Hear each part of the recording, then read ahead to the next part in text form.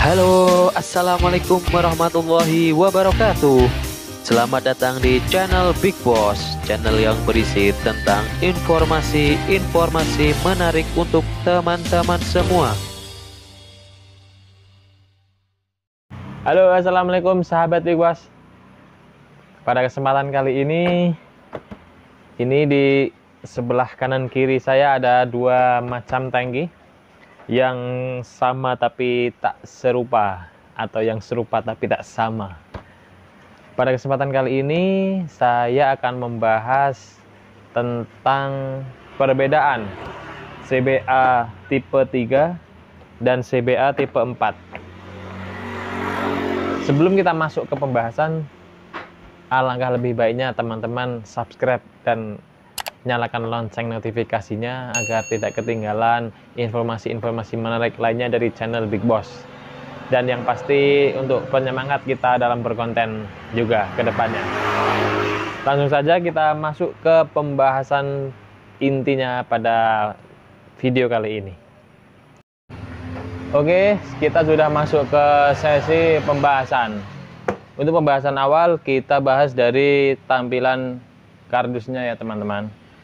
Ini untuk jenis tipe 3 tertulis di logonya ini tipe 3 electric battery sprayer CBA ya.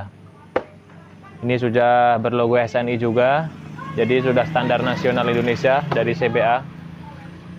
Ini tampilan untuk yang tipe 3 seperti ini.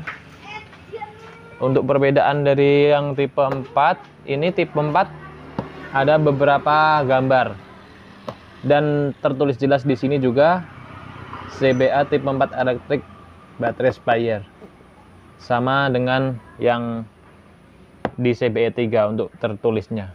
Jadi untuk perbedaan di gambarnya ini ada apa ya ini ya? Logo beberapa logo untuk yang di tipe 4 untuk yang di tipe 3 kan ini kosong tidak ada.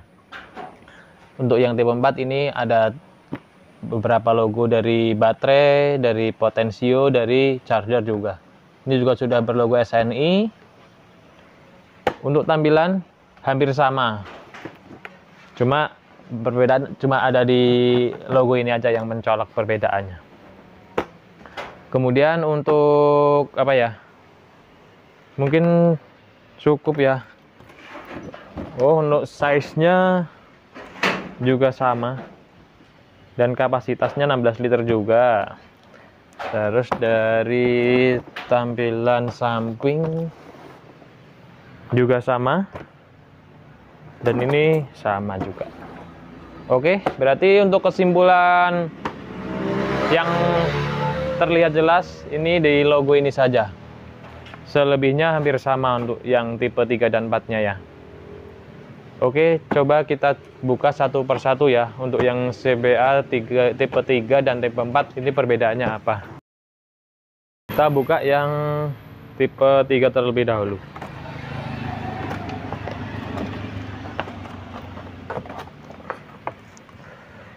Ini kenapa saya review ini nanti biar teman-teman bisa bisa beli yang sesuai kebutuhan lah. Dan juga sudah tidak tidak bingung untuk tipe 4 dan tipe 3 itu sebenarnya apa saja sih perbedaannya?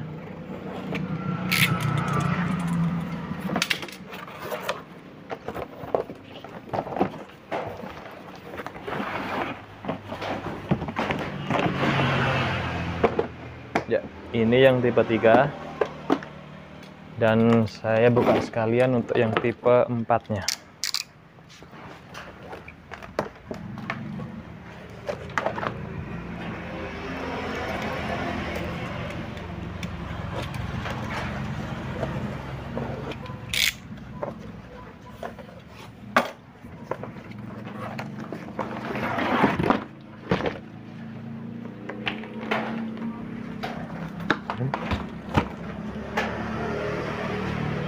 Oke.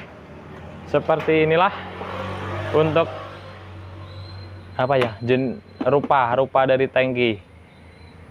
Sudah terlihat berbeda untuk bentuknya. Dari tipe 3 ini modelnya cenderung apa ya ini ya?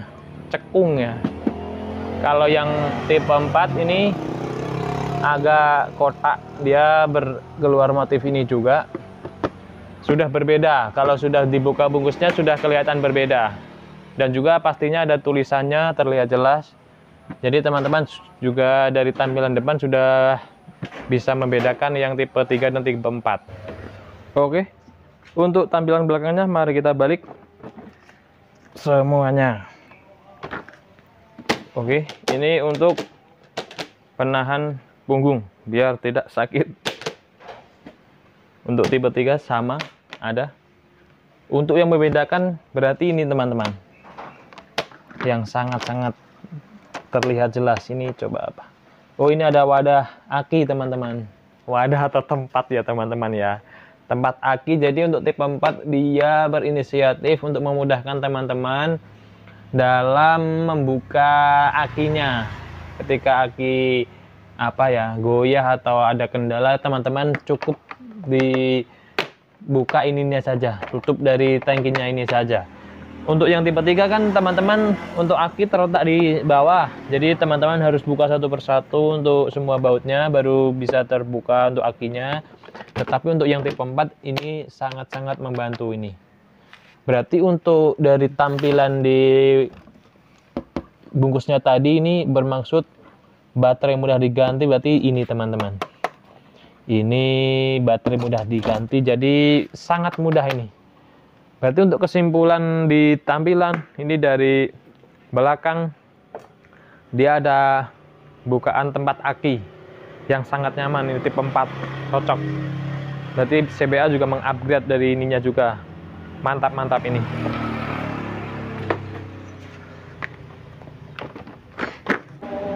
Oke, kita coba bongkar untuk isinya dari tangki ini. Dan apa saja nanti akan perbedaannya. Masuk ke charger. Dari charger ini yang tipe 4 tadi ya. Ini tipe 3 ini untuk outputnya 1,1 ampere. Ini 1 ampere. Oh malah besar yang tipe 3 ya. Berarti selisih 0,1 ini 1,1 dan ini 1 ampere. Untuk in inputnya hampir sama 220 volt 12 ampere. Oke dari charger berarti kesimpulan besar yang tipe 3 kita masukkan lagi. Untuk isi dalamnya coba kita buka.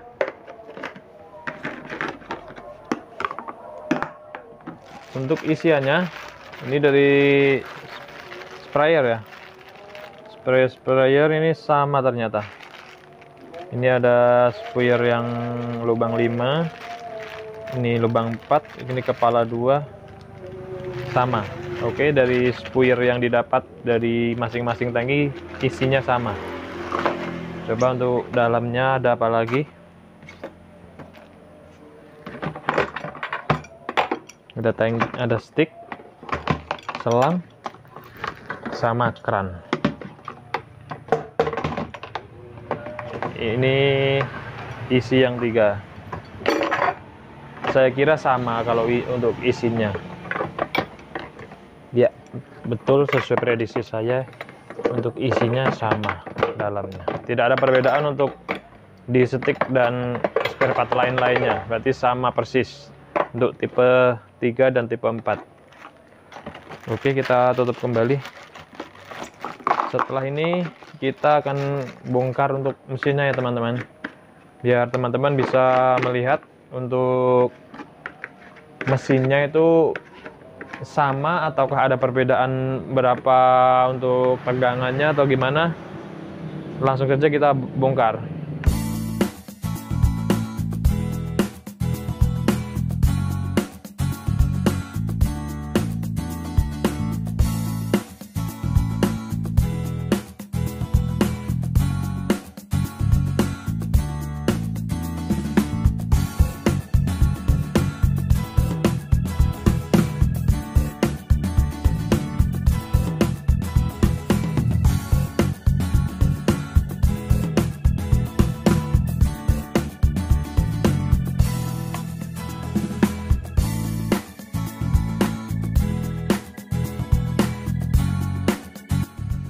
Oke, posisi tangki sudah kita bongkar. Mari kita bahas untuk masing-masing dari tangki ini. Dimulai dari tipe 3 untuk pompa atau dinamo. Ini dia berspesifikasi maksimal pressure 5,5 bar, kapasitas flow 3,1 liter per menit, voltnya 14,4 dan maksimal arus 2,2. Ini kalau nggak nggak tertulis PSI-nya ya, tetapi kalau saya browsing di Google ini masih memakai yang 80 PSI dari dari yang tipe 3 ini. Terus untuk yang tipe 4 tipe 4 dia pressure 5,5 bar 31 kapasitas flow-nya voltage-nya 14,4 maksimal asus 2,2 Oh jadi untuk mesin atau dinamonya itu sama persis ya teman-teman dari kapasitasnya. Untuk yang tipe 3 dan 4 itu sama untuk mesinnya. Kesimpulannya untuk mesin sama. Dari model model apa ini? Outputnya juga sama yang drat ini.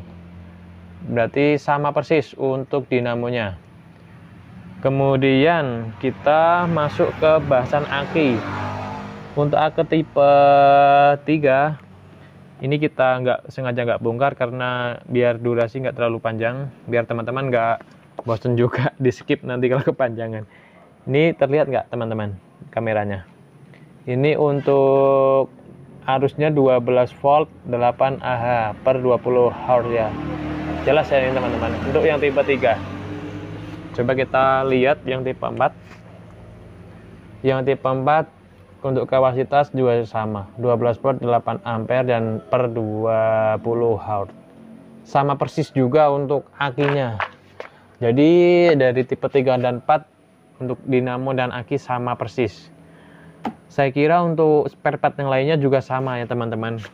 Dari ini saklar dari potensio rumah charger itu sama. Dan ini ada kapasitor ini dari yang tipe 4 juga sama sama persis.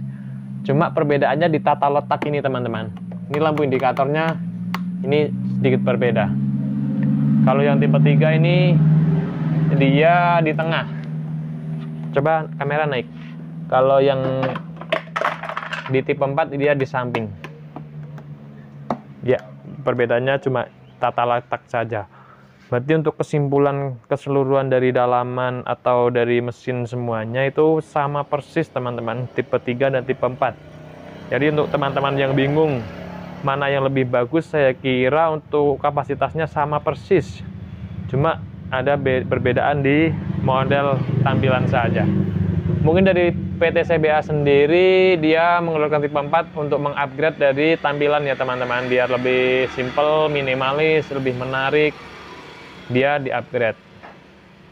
Oh, dan juga itu tadi perbedaan tata letak akinya itu lebih mengenakkan si pemakai ketika aki bermasalah atau ada apa ya goncangan-goncangan aki yang terlepas itu mudah dilepasnya jadi me, menge, menggampangkan lah menggampangkan dari si pemakai untuk pelepasan akinya baik teman-teman kita sudah masuk di penghujung video pembahasan untuk kali ini untuk terakhir kita akan menyimpulkan dari beberapa pembahasan yang tadi kita bongkar semuanya ya teman-teman jadi untuk tampilan kardus sudah berbeda. Teman-teman bisa melihat perbedaannya. Untuk model dari tangkinya sendiri juga beda. Ini sudah yang tipe 4 sudah apa ya? Sedikit minimalis. Yang ini masih cembung. Dari tampilan sudah berbeda. Kemudian dari tempat aki. Tipe 4 sudah enak, lebih enak tipe 3 harus bongkar bawah dulu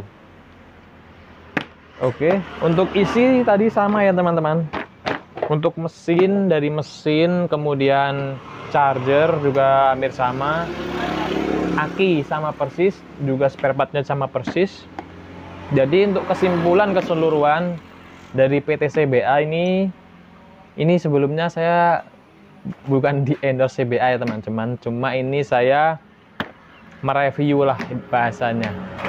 Membahas biar teman-teman apa bertambah wawasannya untuk yang bingung beli yang tipe 3 atau 4 terus bingungnya apa saja ini saya sengaja bagikan ke teman-teman saya buatkan video. Sekali lagi saya bukan di endorse. Ya mudah-mudahan dari PT CBA juga masuk ke email saya untuk endorse. Berarti untuk kesimpulan keseluruhan dari PT CBA ini mengupgrade bahasanya. Memperbarui tampilan kemudian apa membuat konsumen nyaman dari tempat akinya ini memperbarui bahasanya ini memperbarui dari yang tipe 3 untuk mesin dan spesifikasi dalemannya sama persis cuma bedanya ini mengupgrade tampilan dan tempat aki tadi untuk harga saya kira selisih berapa gitu Nanti untuk link pembelian ada di deskripsi ya teman-teman. Saya bagikan toko yang rekomendasi. Saya yang juga sudah apa ya mencoba sendirilah ibaratnya biar teman-teman tidak salah pilih. Oke, mungkin cukup segini dulu dari pertemuan kali ini. Mohon maaf bila ada kata-kata yang belepotan teman-teman. Maklum ini konten kreator yang amatir. Tapi tiada hentinya kita berinovasi untuk menyajikan video-video yang top untuk teman-teman Big Boss semua. Oke, jangan lupa tekan tombol subscribe-nya dan nyalakan lonceng notifikasinya agar tidak ketinggalan informasi-informasi menarik lainnya dari channel Big Boss. Oke, saya pamit. Semoga bermanfaat. See you next time. Wassalamualaikum warahmatullahi wabarakatuh.